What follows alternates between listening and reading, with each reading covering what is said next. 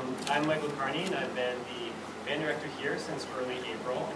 And I've gotten the opportunity to work with amazing students, which you'll hear tonight. We'll be hearing from the beginner band, the eighth graders, and the entire concert band, and then the jazz band. So the first song that we played needs little introduction, but I'll have the students know that I remembered to say London Bridge. It's London Bridge and not London Bridges. Only one bridge, they remind me, so. Um, our next song is an arrangement that we made together of Carnival of Venice, and we'll enjoy it.